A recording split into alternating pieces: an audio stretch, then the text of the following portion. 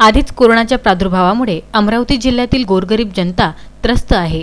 गेल्या चार महिन्यांपासून कामगार शासनाच्या स्वस्त धान्यावर आपल्या कुटुंबाचा उदरनिर्वाह करीत आहे. त्यातच अनेक स्वस्त धान्य दुकानदार नागरिकांची वेगवेगळ्या पद्धतीने फसवणुकीचे प्रकार ही मोठ्या प्रमाणात घडत आहेत. दुकाने नियमितपणे न उघडणे धान्य कमी देणे एखाद्याने धान्याची उचल केली नाही तर तो माल इतर दुकानदारांना अवैध विकणे अशा घटना घडत असताना यंकयापुरा येथील स्वस्त धान्य दुकानदाराला तर चक्क लोहचुंबक तराजूला लावून नागरिकांना फसवल्याची पोल युवकाने उघडकीस आणली आहे. राहुलनगर येथील रहिवासी आनंद थोरात यांचे यंकयापुरा येथील बालाजी स्वस्त धान्य दुकानात नोंद आहे. थोरात हे कुटुंबाचे धान्य घेण्यासाठी बालाजी स्वस्त धान्य दुकानात शुक्रवारी गेले असता त्यांचे लक्ष तराजूला लागलेल्या लोहचुंबकावर गेले. त्याचवेळी त्यांनी आपल्या सहकारीला मोबाईलमध्ये सर्व प्रकार कैद करण्यास सांगितला.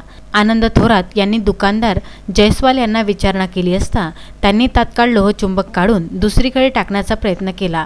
यात आनंद थोरात यांनी जयस्वाल यांना खडेबोल सुनावले. या दुकानदाराच्या विरोधात काही महिन्यांपूर्वी भीम ब्रिगेडचे राजेश वानखडे यांनी सुद्धा अधिकाऱ्यांकडे तक्रारी दिल्या होत्या.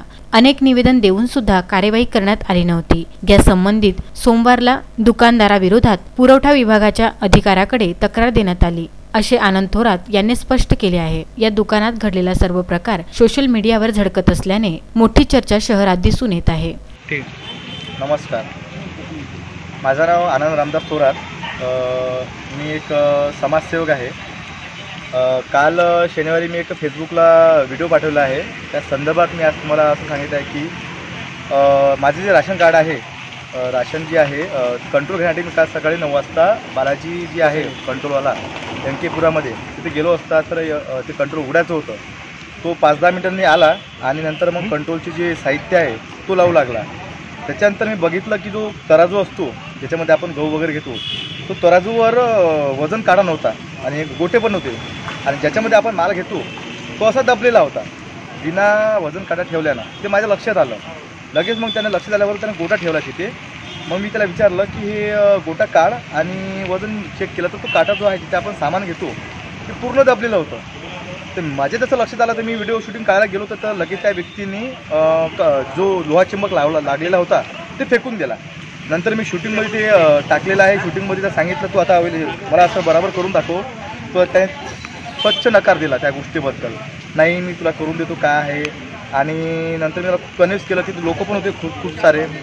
पण त्याने जो लोहा चिंबक होता तो फेकून दिला. त्याने ते माप मला वजन बराबर करून नाही दाखवलं आहे. आणि तिथे लोकांसमोर सांगितलं की त्याला कन्व्हिन्स केलं. की तू हे तराजू जो आहे खालीवर कसा काय तर त्याची मी आज कंप्लेंट करणार आहे. मागणी राहणार आता. माझी मागणी हेच राहणार आहे. त्याची खूप दिवसापासून मला कंट्रोलवाल्याची कंप्लेंट येते त्याच्यामध्ये. आता समजा ह्या महिन्यामध्ये कुठल्याही व्यक्तीनं कंट्रोल नेलं नाही आणि तो कंट्रोलवाला तो व्यक्ती जो आहे नेक्स्ट महिन्यामध्ये जर गेला की मी मागच्या महिन्यामध्ये कंट्रोल विसरलो आहे तर तो कंट्रोल सप्पा नकार देतो.